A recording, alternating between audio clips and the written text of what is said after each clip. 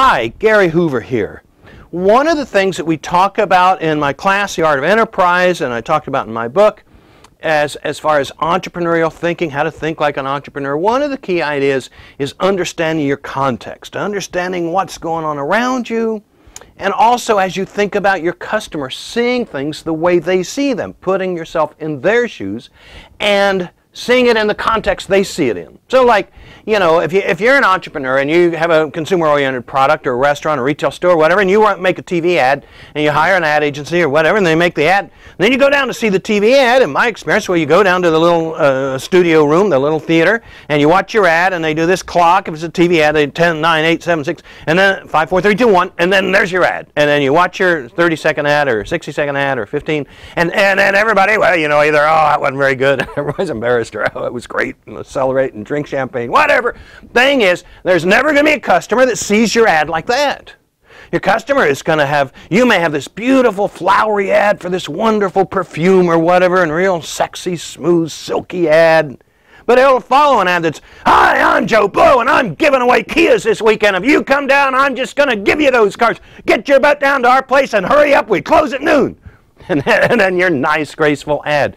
No, you got to see things in the context that the customer sees them in. I've seen retail chieftains fly into a city say, uh, uh, oh, I'll pick on Circuit City. It was a great company. It's gone now. Fly in to see all the Circuit Cities in Austin. Well, they go to store number 852 North Austin and store number 421 in South Austin and then the other Circuit City on the west side of town and then they get in their plane and they leave or get on the airliner. Hey, no customer ever saw Circuit City that way. Every customer saw it just coming right out of a Best Buy or on the way to Best Buy. Or they were sitting in their car like I do now, clicking on their cell phone, looking at um, a B&H photo in New York or some competitor. So understanding things in context, context and having a bigger, more all-inclusive view of the customer and the way they relate to the world is so important and, and putting yourselves in their shoes. So, so an example of this, one of the ideas that I really promote, I certainly think retailers ought to do more of this, but all this stuff also applies to e-commerce and online people, and, and I'm sure it applies to business to business as well as business to consumer type things. But one thing is what I call end-to-end -end thinking. So the example I usually talk about is airlines the airlines seem to think that their real business, the real guts of their business, is to pick you up at, say, gate number 26 at the Austin airport and put you in that nice silver tube and then fly you safely and on time to gate number 14 at Chicago O'Hare or whatever. And so that's when their job starts and that's when their job ends. And yet, if you really look at the average traveler and their average trip, they probably spend half or less of the total time in that silver tube between those two gates. They certainly spend a major chunk of it, at least 30 or 40 percent, and a lot of times over half, getting to the airport, going through security, dealing with checking baggage, on the other end getting baggage out, uh, getting to the rent-a-car or whatever, all that jazz, and dealing with the taxis, you know, and so that, that flight is just part of the picture.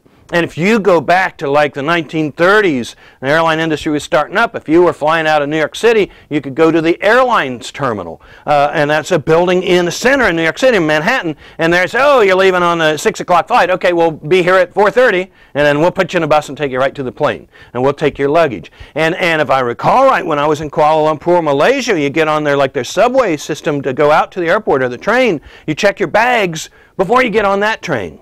And then you never see him again. You tell him what flight you're going on, and fine, see you later. Pick up your bags in Austin, whatever. So thinking about things in a more in a more total perspective and understanding how they fit in people's lives. And actually what triggered me to talk about this today is today's Wall Street Journal had a nice article about the uh, hotel, lodging industry, and they said, well, they'd come to realize that their customers, what do they do? They get up in the morning, they come down to the lobby, and then they go directly from the lobby to the nearest Starbucks or Dunkin' Donuts. And overwhelmingly, that's what people do and they knew it, you know, and and but they all got to go through that lobby on the way out. And I'm sure a bunch of them are stopping the desk saying, where's the nearest Starbucks or whatever. Well, I guess with cell phones and everything, less of that. But hey, So now they're saying, well, why are we letting all that business get away? So they're turning their lobbies into Starbucks and Dunkin' Donuts or whatever, you know, either a clone or I don't know if any of them are actually signing deals with Starbucks. It was very smart, Barnes & Noble, to do that and helps perpetuate them and the, the challenges facing the bookstore industry.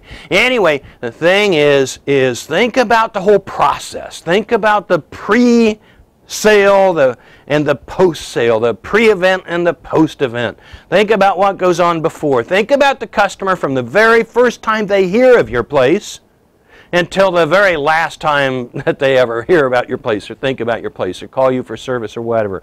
And the more you can do this comprehensive end to end thinking.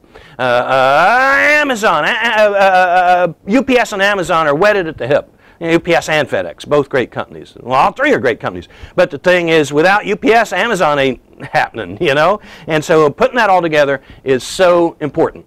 And thank you for the time, for your time. I'll see you later.